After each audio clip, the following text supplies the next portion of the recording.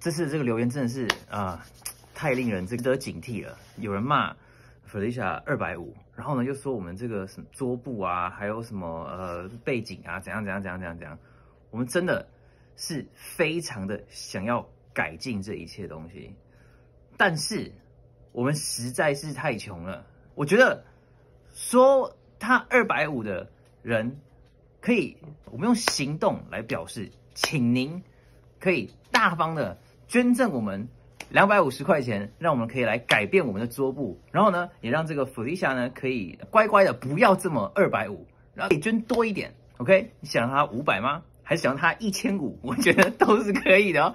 所以说，呃，请各位继续支持我们的施工，然后觉得对我们有意见的，请用行动来支持我们，然后让我们改变，让我们可以变得更好。谢谢大家。在这里给大家看一下我们现在的桌子，我们没有桌子，我们只有报纸。